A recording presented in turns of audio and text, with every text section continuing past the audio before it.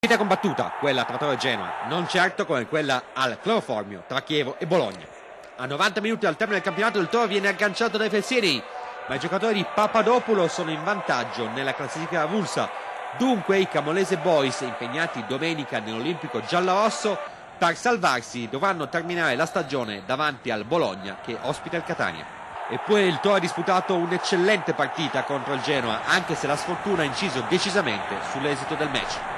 Al dodicesimo stellone, scattando su una palla invitante, si procura un guaio muscolare e deve lasciare il posto ad Ignazio Abate. Un minuto dopo Colombo viene affossato nell'area genoana da Mesto, ma Saccani non concede il penalty, che sia velocità normale che alla replay sembra sacrosanto.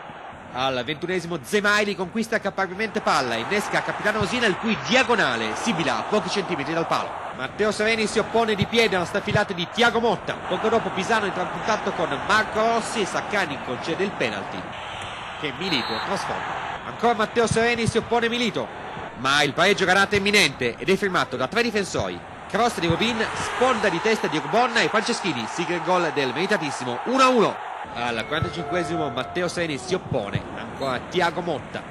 Il secondo tempo inizia subito con due gol. Prima la punizione di Olivera, che però nasce da un fallo molto dubbio. Poi lo splendido 2-2 siglato da Rolando Bianchi, che prima gira Marco Rossi e poi segna con questa splendida palombella. E il nono gol in campionato di Rolando.